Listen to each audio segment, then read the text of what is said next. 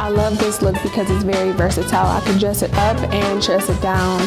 Like you saw in the videos, I can wear it with boots, I can wear it with heels. It's just a lovely outfit or essential piece to have in your closet for the day-to-day -day activities.